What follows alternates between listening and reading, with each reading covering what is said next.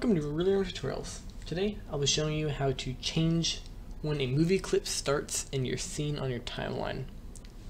So I like to use a node editor for adding things like muzzle flashes and explosions. I, it's a little bit easier for me.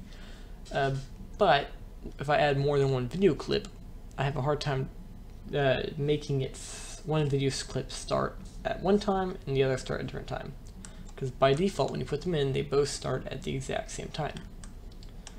So here I added this movie clip of a muzzle flash. I want to put that on top of this clip of my actress holding a gun.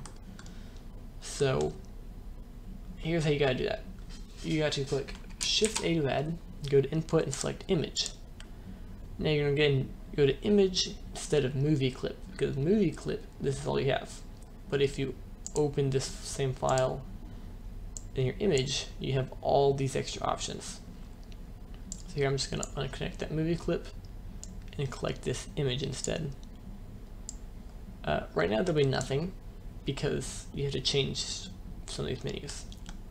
So here the frames is one of the options. The frames is how many frames of this video will be played. So I'm just going to set it to 78 for now, just because that's how I'm using the whole shot. And you'll see it gets added in just the exact same. Uh, a couple other things you have is the start frame, and that'll say when in the timeline this clip will start. And there's also the offset.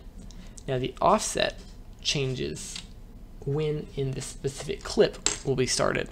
So if you don't want the whole clip to be played, you can change that with the offset. So here I want just the muzzle flash. I don't want any extra of this. Now, it's the clip starts at frame 1, but I don't get the muzzle flash until frame 26. So I'm going to go to the offset and change that from 1 to just before the muzzle flash, which is 25. So now, let's see here. If you go back to 0, I mean 1, you'll see there's where the muzzle flash gets played. Now, I can change where that starts now.